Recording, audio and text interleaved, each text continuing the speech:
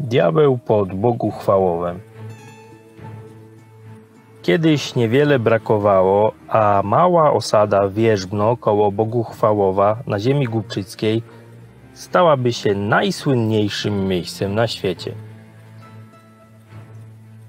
Stary Józef był kłusownikiem. Jego rodzina była tak biedna, że był zmuszony do kłusowania, żeby on, jego chuda żona i dziesięcioro dzieci nie poumierali z głodu. Najbardziej Józef się cieszył, gdy udało mu się schwytać kunę, albowiem skóry tego zwierzątka były drogie i dawały szansę na kilka obiadów dla całej rodziny. Pewnego razu Józef poszedł do lasu. Krzyknął z radości, gdyż w jego sidłach tkwiła tłusta kuna, wielka jak kocur.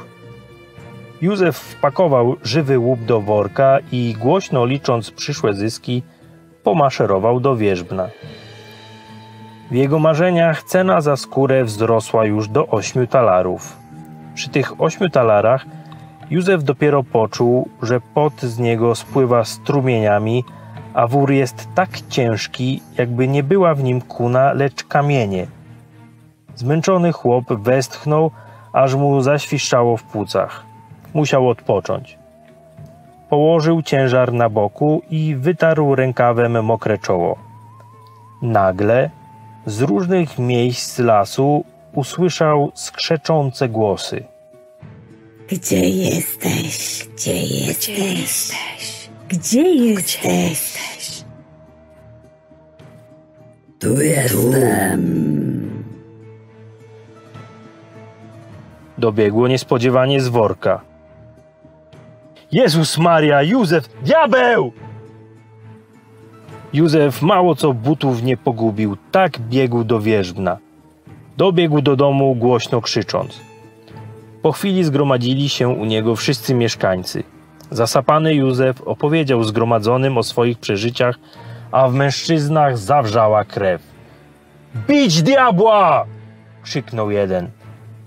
A po co bić? Złapiemy go i będziemy pokazywać za pieniądze na targu.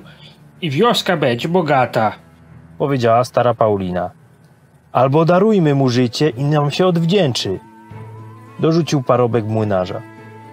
Mężczyźni, kobiety, nawet dzieci, wszyscy złapali kosy, widły do gnoju, pomodlili się i ruszyli do lasu. Worek jeszcze leżał na małej polance.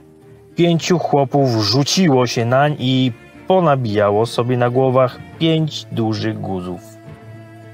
Worek był pusty i podarty, a woń siarki świadczyła o tym, że Józef nie kłamał.